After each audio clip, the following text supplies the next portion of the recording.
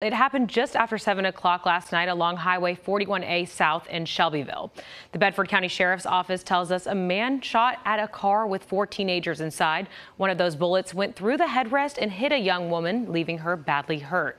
Officials say she was airlifted from Bedford County to Nashville for treatment. There's still no word on how she's doing this morning. The suspected shooter did get away and headed toward Coffee County in a white SUV. If you know anything about the incident or where that suspect may be, you're asked to call the Bedford County Sheriff's Office. Now, according to the Gun Violence Archive, there have been nine incidents of road rage shootings in the volunteer state so far in 2024. And the 25 incidents reported in 2023 is a 19% increase over the year prior. And using the Gun Violence Archives database, Everytown Research and Policy found that the number of road rage injuries and deaths involving guns across the country has increased every year since 2018.